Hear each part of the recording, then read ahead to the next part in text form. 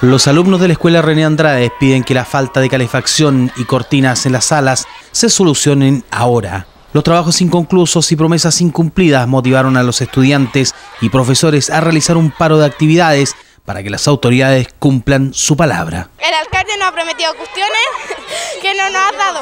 Eh, los telones, las cortinas, los materiales, la, calefacción y no pasa nada. Hemos esperado hartas veces y no, no han resuelto nada y la calefacción está mala, la luz está mala y no hay impresora.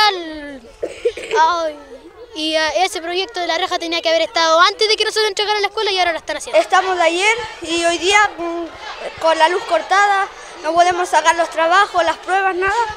Y yo creo que mañana igual seguiríamos así, así que por eso estamos tratando de conversar con el alcalde para poder ver si se solucionan las cosas. Las reparadas dependencias de la escuela F819 fueron entregadas a la comunidad escolar este año, luego que el terremoto del 27F echara a tierra buena parte del colegio. Yo espero que a la brevedad posible poder, poder tener soluciones concretas y reales, porque aquí estamos educando alumnos, estamos educando personas, ya eh, estamos educando almas de los chicos y que requieren, ¿no es cierto?, eh, las mejores comodidades para, poder, poder educarse de buena, de buena manera.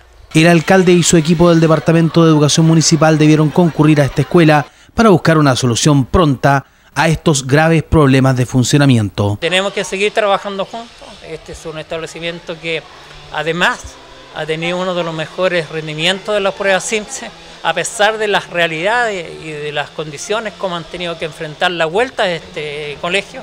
Así que esperamos hoy día, con mi visita en la mañana, los alumnos tienen toda la razón, necesitan mejores condiciones de calefaccionar la, sala, así que esperamos que a partir de hoy día no les falte más el petróleo, ya lo tengan en los momentos que se requiere. La escuela René Andrades alberga a 261 estudiantes tiene buenos resultados académicos. De hecho, y pese a las dificultades, los resultados del CIMSE la sitúan como una de las mejores en la provincia.